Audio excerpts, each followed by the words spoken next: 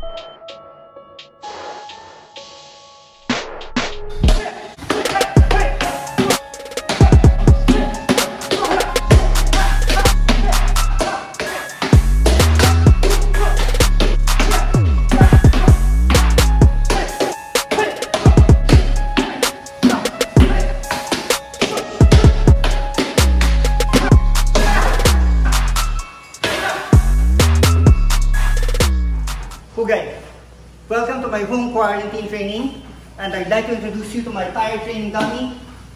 This is Willie. Hello from Willie. I designed this tire training dummy specifically for our knees training.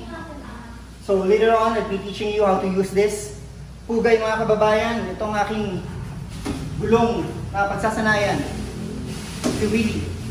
I'll be teaching you the 12 basic strikes of our knees the traditional, and the one that we use in the Rapado style of training, and also some basic moves using a riskali, the traditional weapon of the Filipino martial arts or FMA.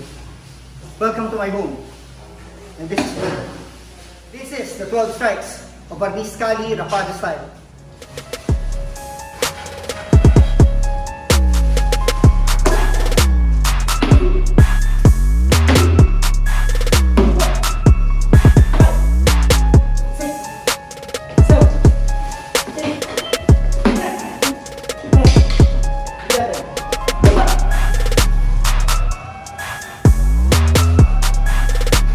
After the 12 basic strikes of Atiskali Rapado style, I'll be teaching you some other strikes that we can use for Willy the dummy.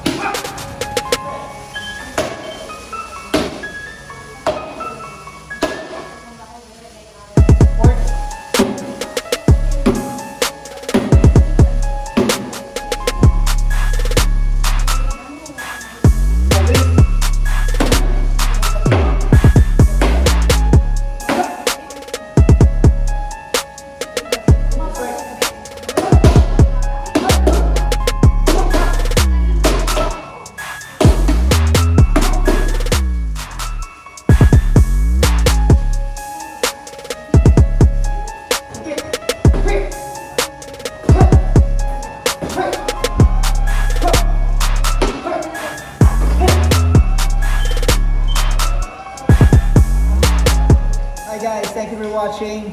Maraming salamat sa inyong panonood. This has been my training with Willie, my tire training dummy.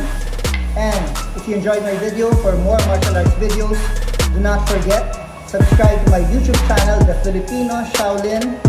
Click the bell button for notification. Thank you. Enjoy.